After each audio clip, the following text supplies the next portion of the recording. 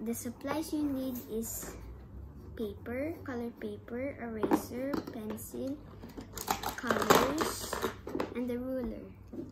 Let's start drawing.